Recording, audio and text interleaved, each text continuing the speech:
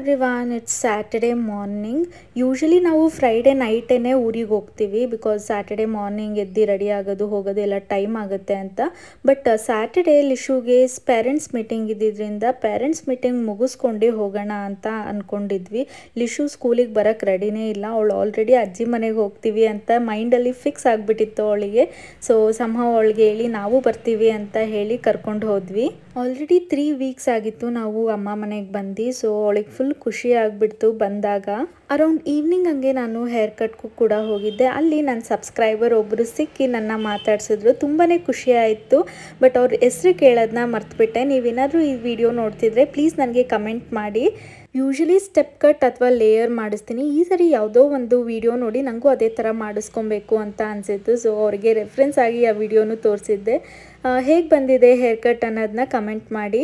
Thank you for watching bye